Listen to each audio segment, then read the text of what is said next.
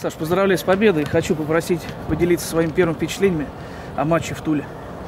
Ну, спасибо. Ну, чуть, наверное, расслабились. Я даже не знаю, может, вторую игру играем. Хотя, в принципе, до игры все ребята настраивали, чтобы с первых минут сыграть внимательно.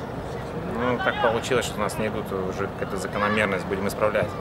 Потому что первые минуты, что у нас не идут, нам, мы с Орлом пропустили гол, и вот сейчас с Тулой гол. Ну ничего, ребята молодцы, реабилитировались, мы все вместе исправили ситуацию. Заслуженно победили.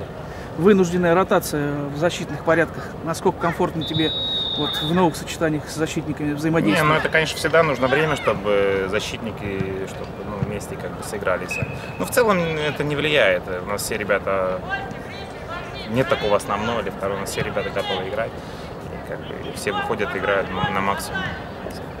Сегодня по ходу матча тебе потребовалась медицинская помощь. Что случилось в этом? Ну да, там чуть-чуть э, пятка, у меня рецидив был пятку до этого, и сейчас опять. И заменили, чуть дали маленько отдохнуть, чтобы ну, не было дальше ухудшений, чтобы не было.